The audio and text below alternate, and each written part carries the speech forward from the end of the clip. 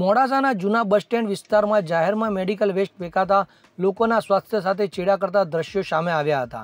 જેથી અજંતા કોમ્પ્લેક્સની બાજુમાં આવેલા ખાંચામાં જાહેરમાં હોસ્પિટલ અને લેબોરેટરી દ્વારા મેડિકલ વેસ્ટ ફેંકવામાં આવતા હોવાનો અહેવાલ ખબર ગુજરાત ન્યૂઝ દ્વારા ચલાવવામાં આવી રહ્યા હતા, જેને ધ્યાનમાં રાખી તંત્ર સફાળું જાગ્યું હોવાનું જોવા મળી રહ્યું છે.